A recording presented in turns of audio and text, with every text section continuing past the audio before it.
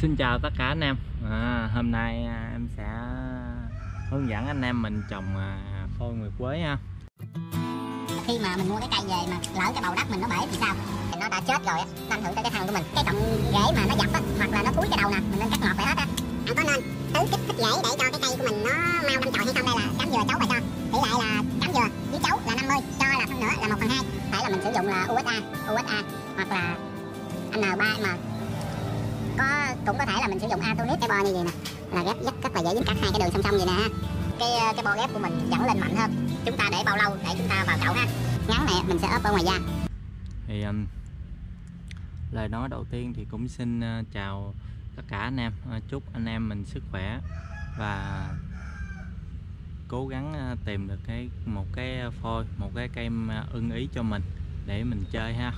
Thì um, một số anh em chắc cũng có một số anh em khá đông là mình chơi nguyệt quế ha. Và mình không biết cái cách mình trồng như thế nào để cái à, phôi nguyệt quế của mình nó sống nó khỏe nó mạnh.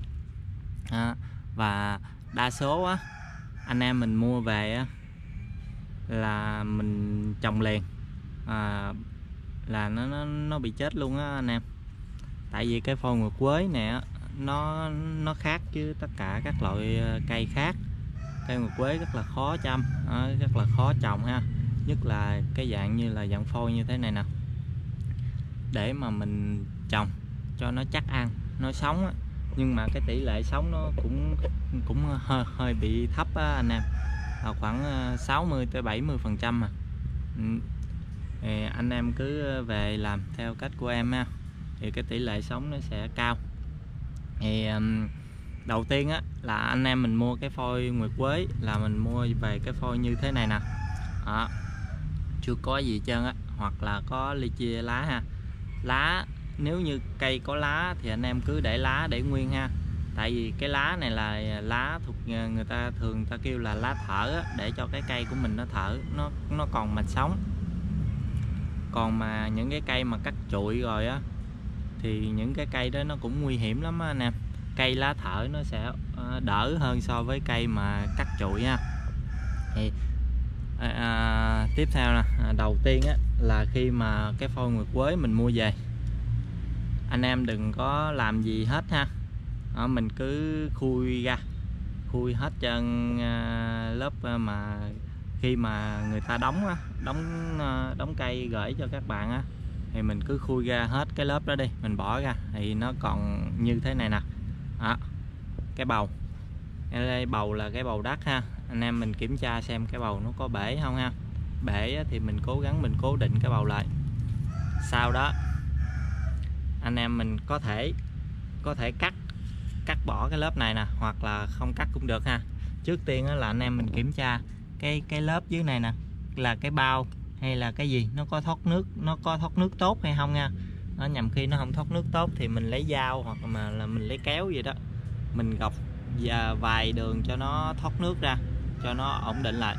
À, đối với những cái bao thoát nước tốt đó, thì anh em khỏi cần. Ừ, thì um, anh em mình cứ gọc cái đường này hết nè. À, chừa cái lớp dưới cũng được hoặc là anh em mình để nguyên cái bầu gì cũng được không sao hết. À, thì tốt nhất mình để nguyên cái bầu đi. À, mình cắt cái cọng dây gàng ra cắt cái cọng dây gàng này ra rồi à, mình để ở trong mát ha. Mình để trong mát và mình nhớ cái điều quan trọng nhất là mình kê lên. Anh em mình nhớ nha mình kê lên kê cho nó hỏng cái mặt đất lên nha. Nó tránh tiếp xúc với cái, à, à, cái nền hoặc là à, đất gì đó. Mình tránh tiếp xúc ha. Tại vì nước ở dưới á, dâng lên thì nó sẽ ảnh hưởng tới rễ dưới này. Cái cây nguyệt quế cái cây nguyệt quế ờ, nó có cái nó nó rất là sợ nước á. cái phôi này nè nó rất là sợ nước. Khi mà anh em mình á, tưới nước nhiều quá nó cũng chết. Thì anh em mình để như thế này nè cho cái cây nó đâm chồi. Nó đâm chồi lại nè ha. Nó đâm chồi và nó ra lá già lại. Và anh em mình tiến hành cắt bỏ cái cái cái lớp này nè. Anh em mình trồng luôn. Đối với cây nguyệt quế là mình không có khui bầu ha anh em. Đó, cây nguyệt quế mà khui bầu á là nó chết nha đó, riêng cây nguyệt quế thôi. Đó, mình trồng nguyên cái bầu như thế này nè. Mình đem vô chậu mình trồng mình thêm sơ dừa chiêu chấu vô là mình cứ trồng thôi. Để đó mình chăm. Thì mình cũng cứ tứ kích rễ thường xuyên để cho cái cây nó mau ra rễ nha anh em. Nếu như mà cái phôi như thế này nè mà anh em mà đem mà đem ra mà mình trồng liền á là nó chết trăm phần trăm luôn á. nhiều à, nhiều anh em á để nguyên gì luôn nè đem vô trồng hỏi sao cây nó chết. Nhiều lúc em cũng mắc cười lắm. Thì um, khi mà cái cây của mình nó lên già rồi đó lá già anh em mình cũng đừng nghĩ y ha. Tại vì cái cây nguyệt quế á nó muốn nó muốn quẹo nó muốn chết giờ nào thì nó chết thôi. Mình cũng khó lắm. Bởi vì mình phải chăm cho nó kỹ mình phải theo dõi nó kỹ thường xuyên ha. Mình tưới kích rễ đều à. khi mà anh em để cái ờ, này nè khoảng chừng chắc khoảng nửa tháng nửa tháng tới ờ, uh, 3 tuần là cây nó bắt đầu nó đâm chồi trở lại đâm chồi trở lại thì anh em cứ tứ cứ cho cái bầu của mình nó vừa ẩm thôi đừng có nước tưới nước quá nha. Tưới nước quá là cái cây của mình nó ngủm luôn á tại vì nó rất sợ nước nha anh em. Nước vô á, nó làm thúi mấy cái đầu rễ này nè thì nó sẽ không có ra rễ được. Thì dẫn đến cây của mình nó chết. Thì anh em cứ để cho nó khô thôi. Mình cứ để ẩm nha đất nó ẩm như thế này là được rồi. Nó có nước để nó sống thôi. À, rồi từ từ từ nó sẽ đâm chồi và nó phát triển trở lại. Ừ. khi mà em em em xin nhắc lại nha khi mà lá nó già thì anh em hãy đem trồng. Chứ lá còn non thì anh em cũng đừng nên trồng nha cứ để đó đi để cho nó sống thoải mái đi rồi từ từ mình sẽ làm việc nó sau chứ mà anh em mà gấp gáp á mình làm việc nó luôn á là hơi bị nguy hiểm á. Cây nguyệt quế nó khó là nó khó ngay cái chỗ đó. Và à, thường thường á, là à, anh em á, là thường hay là ghép. Biết à, anh em biết vì sao mà mọi người thường hay ghép à, ghép cây nguyệt quế không? Ừ, tại vì á, cây nguyệt quế nó đâm chồi mà mình không biết, mình không biết đường được, nó muốn đâm đâu, nó đâm mà. Lỡ như nó đâm mà nó đâm nó không ngay cái đầu này nè, thì nó có thể là nó bị chết á. Thường thường à, cây nguyệt quế dễ bị chết thân là lý do là nó không nuôi được cái cái cái cái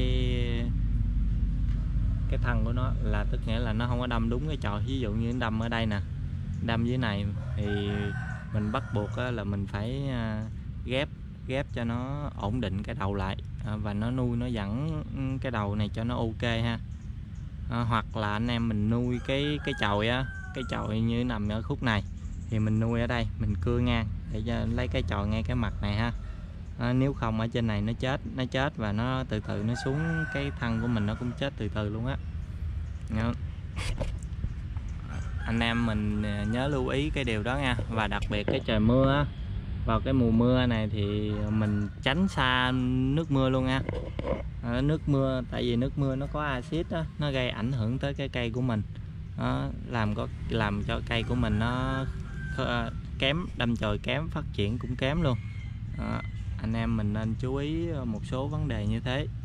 Thì cây nguyệt quế nó hơi khó chăm sóc hơn so với tất cả các loại khác. Như mai chiếu thủy đồ thì nó rất là dễ tại vì mai chiếu thủy thì dâm cành nó sống thì nó rất là dễ. Những cây nào mà dâm cành sống là những cây đó rất dễ chăm nha anh em. Còn những cây nào mà dâm cành mà khó sống á, thì nó hơi hơi khó chăm. Đó là cái điều mà đơn giản nhất rồi đó. Ừ, thì à, cũng à, kết em à, xin kết thúc video tại đây ha. Thì em cũng chúc anh em mình có được một cây nguyệt quế ý, như ý như mong muốn của mình chơi. Đó, và mình mua về thì tránh mất uh, ờ, tiền. À, và hạn chế mức tối đa nhất những cái thiệt hại mà do cái ờ, thuộc tính của cái cây đem lại. Và mình cố gắng mình tìm hiểu cái thuộc tính của nó để mình có thể mình nắm bắt được và mình mình kiểm soát được nó nha. Ừ, rồi em cũng xin chào và chúc anh em mình sức khỏe và cảm thấy video hay thì nhớ đăng ký kênh à, cho em xin một like ha một like. À, nếu như anh em nào tiện tay á, chia sẻ về cho anh em à, khác à, để mình cùng xem ha. À, thường thường á, thì clip clip à, em lên vào à, lúc 5 giờ chiều là, là khoảng 17 giờ đó 17 giờ à, các ngày nha. À, nếu như à, bữa nào trống trống á thì à, chắc bữa đó là em không có clip rồi. Rồi em cũng xin à, chào chúc anh em sức khỏe.